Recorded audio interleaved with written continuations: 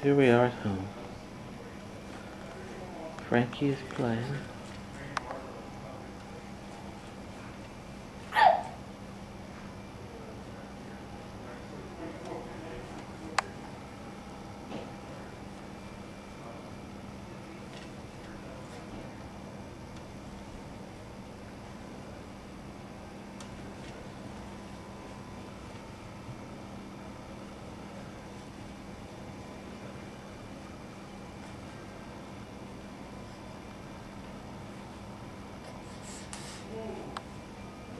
Frankie, what are you doing? What are you doing?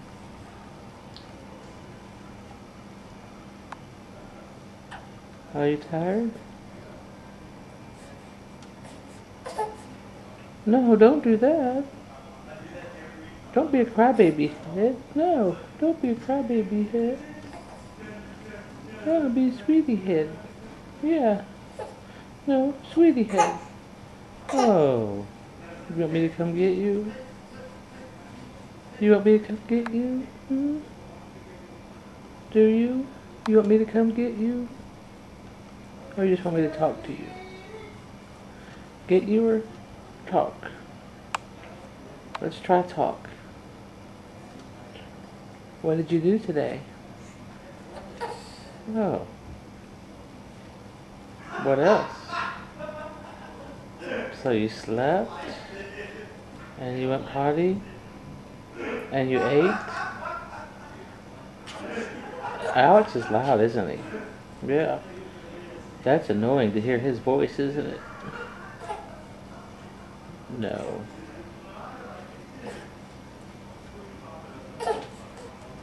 Oh, Frankie. Not that. No, not that face. Sounds like they're coming.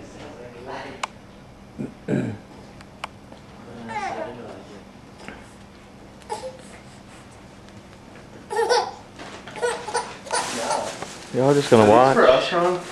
Yeah? For sure. One of them. You get one taco. Just kidding.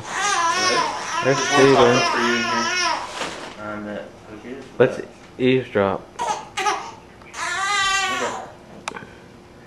Okay, Frankie, I'm gonna come get you.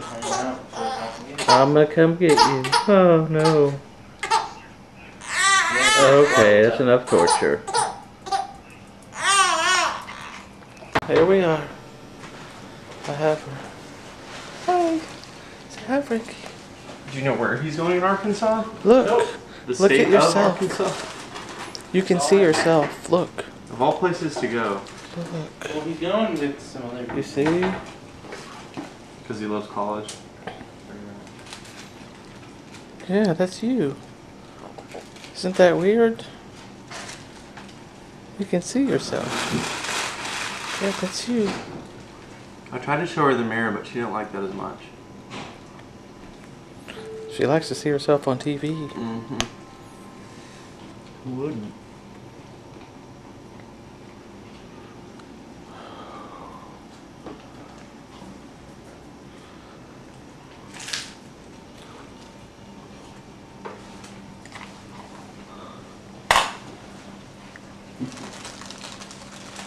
Can you see?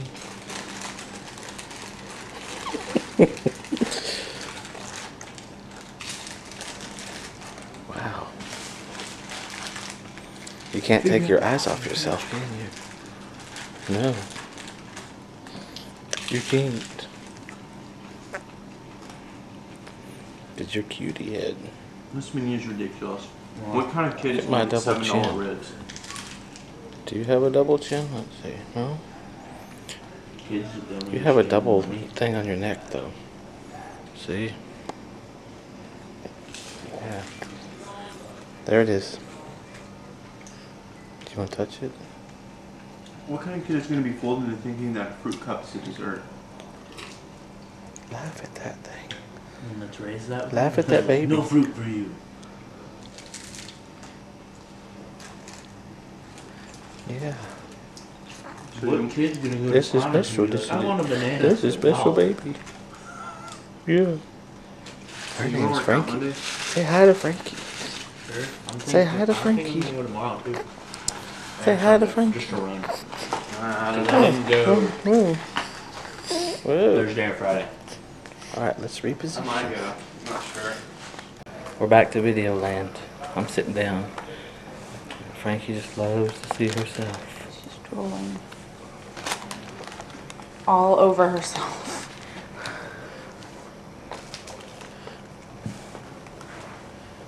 You think she see that a picture that small? Yeah. I you can. Oh, we need to raise it up a little. Mm-hmm.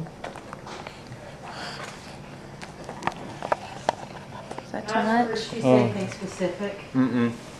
She just says real. Like, you sit like a lady. You sit like a lady, Missy. Brr, brr, brr. Brr, brr, brr.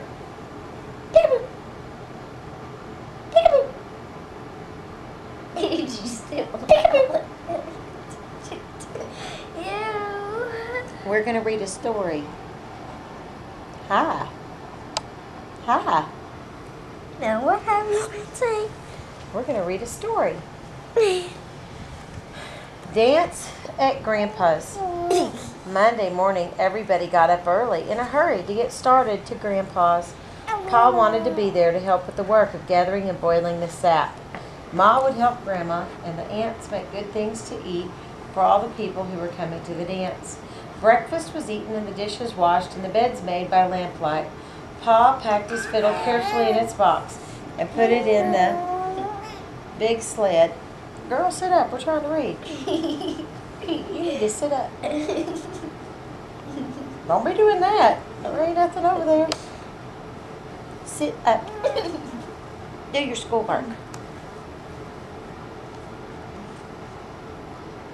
The air was cold and frosty, and the light was gray.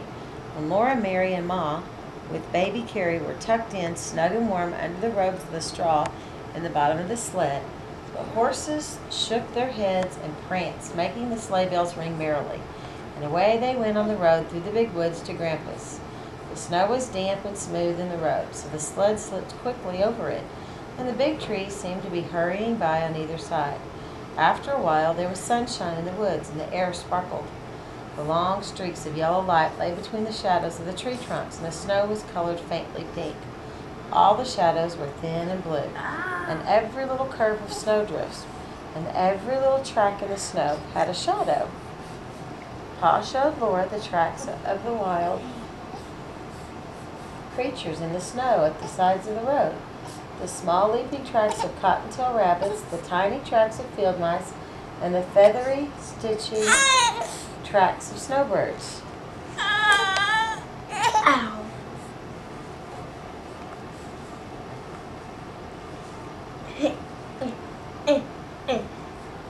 Sit up.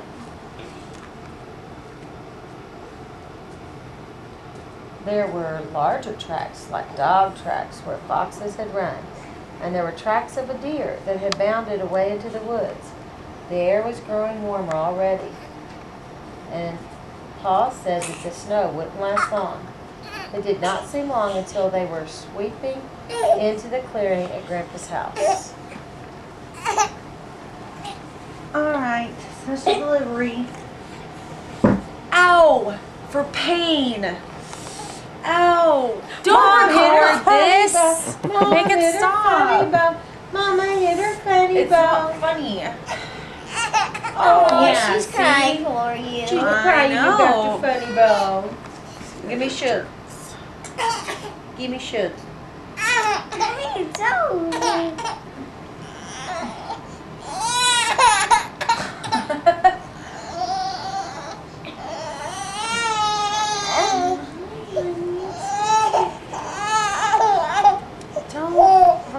record me.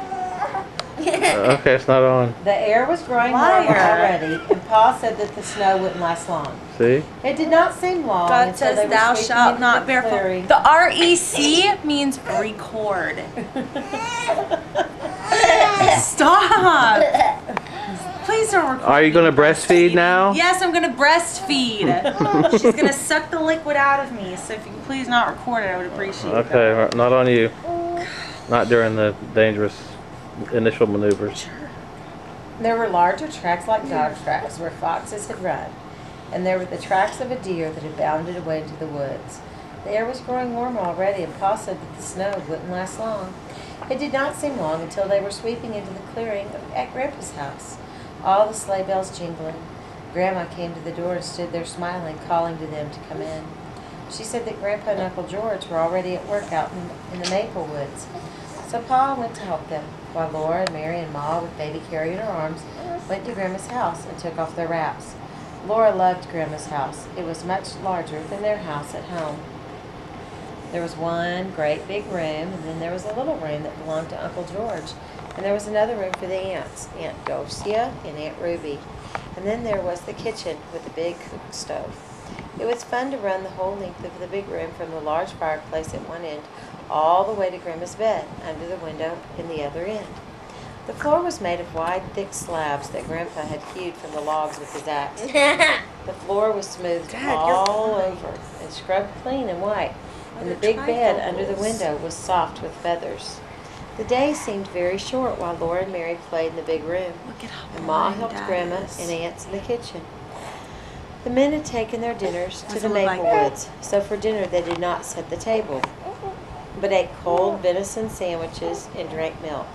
But for supper, Grandma made hasty pudding. She stood by the stove, sifting the yellow cornmeal from her fingers into a kettle of boiling salted water. She stirred the water all the time with a big spoon and sifted in the meal until the kettle was full of a thick, yellow, bubbling mass. Then she set it on the back of the stove where it would cook slowly. It smelled good. The whole house smelled good, with the sweet and spicy smells from the kitchen, the smell of the hickory logs burning with clear, bright flames in the fireplace, and the smell of a clove apple beside Grandma's mending basket on the table.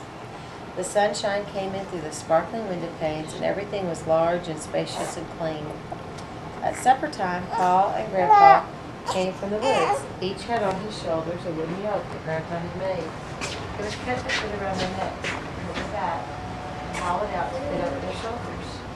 From each end hung a chain with a hook, and on each hook hung a big wooden bucket full of hot maple syrup. Thank you. Sorry, I had a booger on my finger. Want to see what it looks like?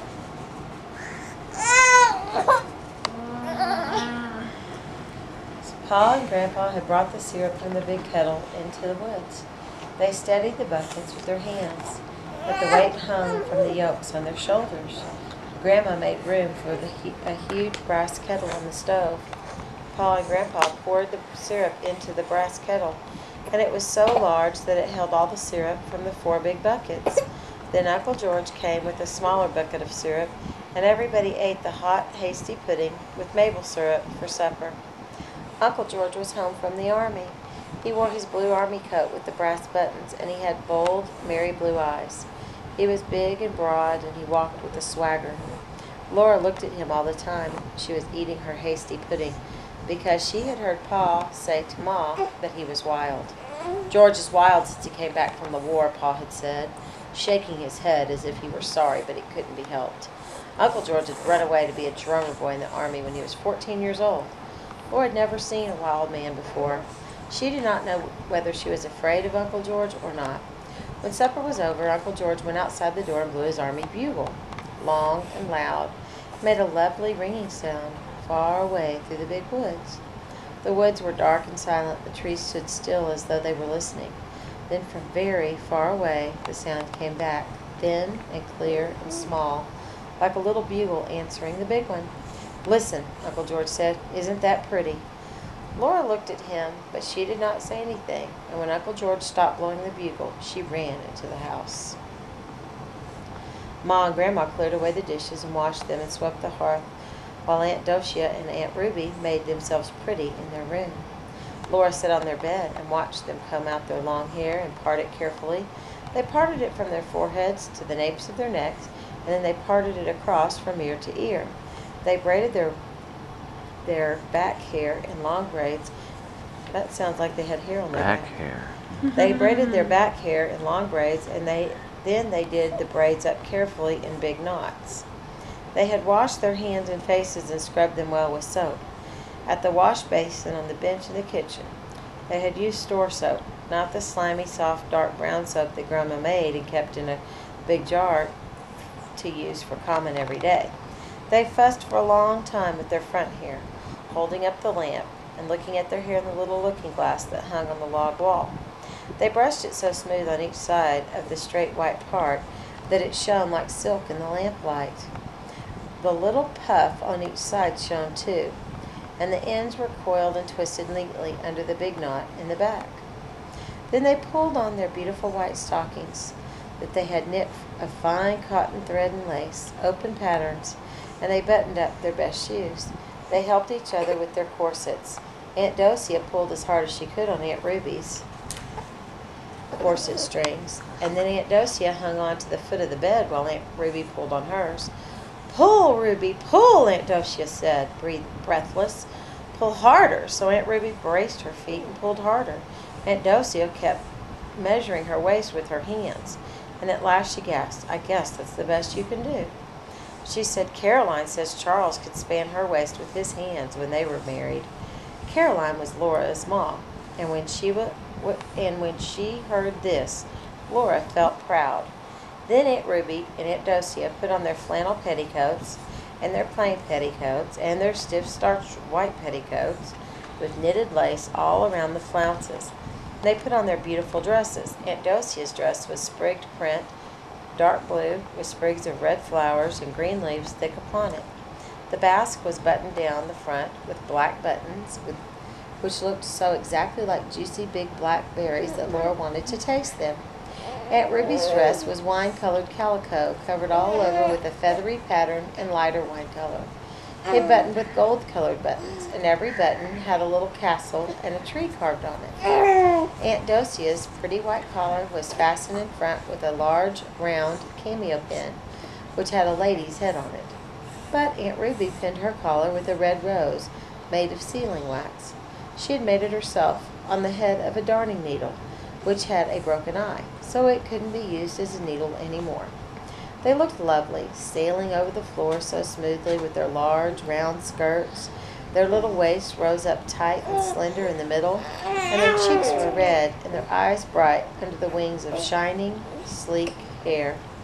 Ma was beautiful too in her dark green delaine with the little leaves that looked like strawberries scattered over it. The skirt was ruffled and flounced and draped and trimmed with knots of dark green ribbon. And nestling at her throat was a gold pin. The pin was flat, as long and as wide as Laura's two big fingers, and it was carved all over and scalloped on the edges. Ma looked so rich and fine that Laura was afraid to touch her. People began to come. They were coming on foot through the snowy woods with their lanterns, and they were driving up to the door in sleds and in wagons. Sleigh bells were jingling all the time. The big room filled with tall boots and swishing skirts, and ever so many babies were lying in a row in Grandma's bed. To see everybody brought their babies and put them on Grandma's bed.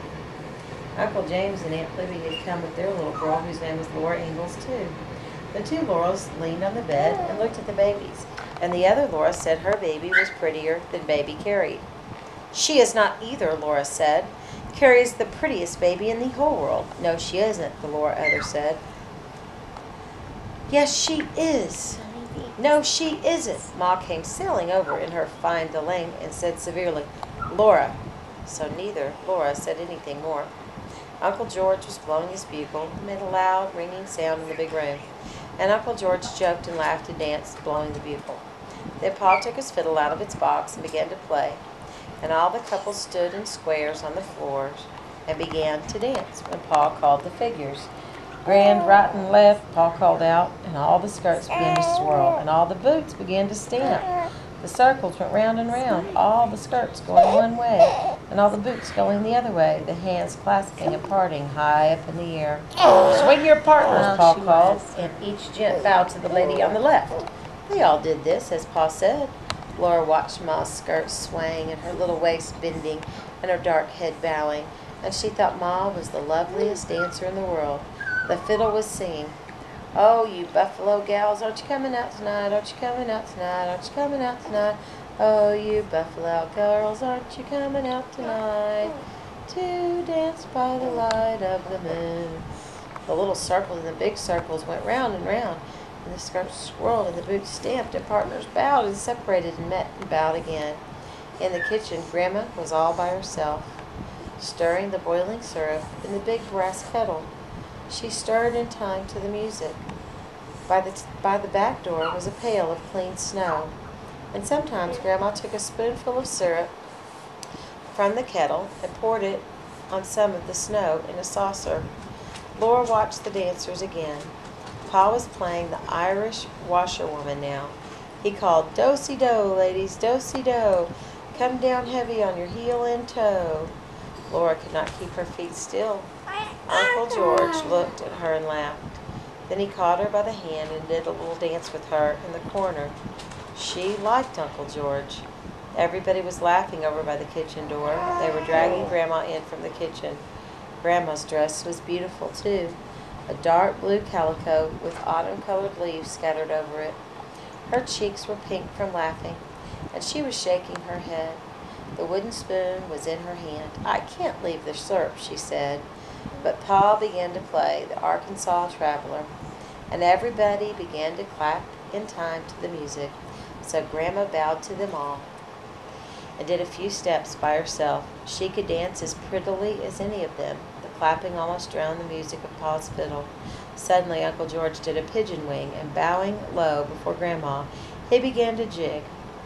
Grandma tossed her spoon to somebody. She put her hands on her hips and faced Uncle George, and everybody shouted. Grandma was jigging. Laura clapped her hands in time to the music with all the other clapping hands. The fiddle sang as it had never sung before, and Grandma's eyes were snapping, and her cheeks were red, and underneath her skirts her heels were clicking as fast as the thumping of Uncle George's boots. Everybody was excited. Uncle George kept on jigging, and Grandma kept on facing him jigging too, and the fiddle did not stop, and Uncle George began to breathe loudly, and he wiped sweat off his forehead, and Grandma's eyes twinkled. You can't beat her, George, somebody shouted. Uncle George jigged faster. He jigged twice as fast as he'd been jigging. So did Grandma. Everybody cheered again. All the women were laughing and clapping their hands, and all the men were teasing George. George did not care, but it, he did not have enough breath to laugh. He was jigging. Pa's blue eyes were snapping and sparkling. He was standing up, watching George and Grandma, and the bow danced over the fiddle strings. Laura jumped up and down and squealed and clapped her hands, and Grandma kept on jigging. Her hands were on her hips and her chin was up and she was smiling. George kept on jigging, but his boots did not thump as loudly as they had thumped at first. Grandma's heels kept on clickety-clacketing gaily. A drop of sweat dripped off George's forehead and shone on his cheek. All at once, he threw up both arms and gasped, I'm beat. He stopped jigging. Everybody made a terrific noise, shouting and yelling and stamping, cheering Grandma. Grandma jigged just a little minute more, then she stopped. She laughed and gasped. Her eyes sparkled just like Pa's when he laughed. George was laughing too, and wiping his forehead on his sleeve. Suddenly, Grandma stopped laughing. She turned and ran as fast as she could into the kitchen. The fiddle had stopped playing. All the women were talking at once, and all the men were teasing George, but everybody was still for a minute when Grandma looked like that. Then she came to the door between the kitchen and the big room and said, The syrup is waxing. Come and help yourselves. Then everybody began to talk and laugh. They all hurried to the kitchen for plates and outdoors to fill the plates with snow. The kitchen door was open and the cold air came in. Outdoors, the stars were frosty in the sky, and the air nipped Laura's cheeks and nose. Her breath was like smoke. She and the other Laura and all the other children scooped up clean snow with their plates. Then they went back into the crowded kitchen. Grandma stood by the brass kettle, and with the big wooden spoon, she poured hot syrup on each plate of snow. It cooled into soft candy, and as fast as it cooled, they ate it. They could eat all they wanted, for maple sugar never hurt anybody. There was plenty of syrup in the kettle, plenty of snow outdoors. As soon as they ate one plateful, they filled their plates with snow again, and Grandma poured more syrup on it. When they'd eaten the soft maple candy until they could eat no more of it, then they helped themselves from the long table loaded with pumpkin pies, dried berry pies, cookies, and cakes. There was salt rising bread too, and cold boiled pork and pickles. Oh, how sour those pickles were! They all ate till they could hold no more. And then they began to dance again, but Grandma watched the syrup in the kettle. Many times she took a little of it out into the saucer and stirred it round and round. Then she shook her head and poured the syrup back into the kettle. The other room was loud and merry with the music of the fiddle and the noise of the dance. At last, as Grandma stirred, the syrup in the saucer turned into little grains like sand. And Grandma called, Quick, girls, it's graining. Aunt Ruby and Aunt Docia and Ma left the dance and came running. They set out pans, big pans and little pans, and as fast as Grandma filled them with syrup, they set out more. They set the filled ones away to cool into maple sugar. Then Grandma said, Now bring the patty pans for the children. There was a patty pan, or at least a broken cup or saucer, for every little girl and boy. They all watched anxiously while Grandma ladled the out the syrup. Perhaps there would not be enough. Then somebody would have to be unselfish and polite. There was just enough syrup to go. The last scrapings of the brass kettle exactly filled the very last patty pan. Nobody was left out. The fiddling and dancing went on and on. Laura and the other Laura stood around and watched the dancers. Then they sat down on the floor in a corner and watched. The dancing was so pretty and the music was so gay that Laura knew she could never get tired of it. All the beautiful skirts went swirling by, and the boots went stamping, and the fiddle kept on singing gaily. Then Laura woke up, and she was lying across the foot of Grandma's bed. It was morning. Ma and Grandma and baby Carrie were in the bed. Pa and Grandpa were sleeping rolled up in blankets on the floor by the fireplace. Mary was nowhere in sight. She was sleeping with Aunt Docia and Aunt Ruby in their bed. Soon everybody was getting up. There were pancakes and maple syrup for breakfast, and then Pa brought the horses and the sled to the door. He helped Ma and Carrie in, while Grandpa picked up Mary and Uncle George, picked up Laura, and they tossed them over the edge of the sled into the straw. Pa